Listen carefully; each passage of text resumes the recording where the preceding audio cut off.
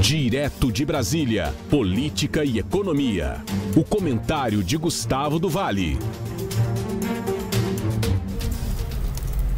No comentário de hoje, o economista Gustavo do Vale fala sobre o índice IBCBR, que é um índice de atividade econômica. Olá, amigos. O Banco Central divulgou né, nesta semana o IBCBR, que é o índice que mede o crescimento da economia brasileira feita pelo Banco Central que apesar de ter uma metodologia diferente do IBGE, calcula oficialmente o crescimento do país, ele, como tem frequência mensal, o IBGE trimestral, ele permite o acompanhamento por parte dos agentes econômicos da evolução da atividade econômica mais persistentemente. Segundo esses estudos, o IBCBR caiu 0,34% em março, na comparação com fevereiro, já retirando os efeitos sazonais, ou seja, aqueles efeitos que não acontecem em todos os meses é, do ano. Interessante que no mês de fevereiro ele tinha subido 0,34, ou seja, considerando os dois meses, nós ficamos no, no 0 a 0. Esse dado veio em linha com aquilo esperado pelos analistas, já que o intervalo das projeções elas variaram entre 0,8 de, de queda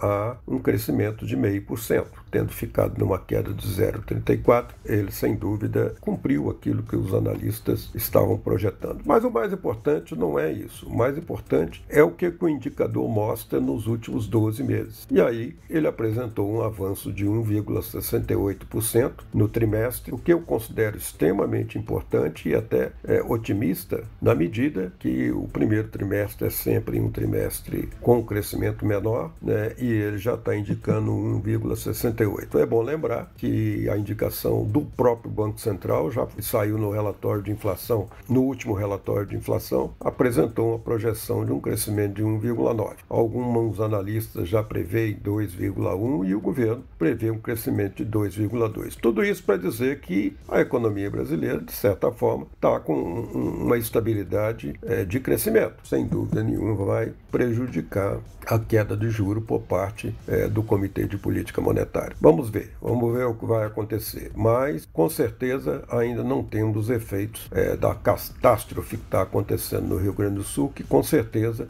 é, vai afetar, de certa forma, tanto o indicador projetado pelo Banco Central quanto pelo IBGE. Por hoje é só, um grande abraço a todos e até segunda, se Deus quiser.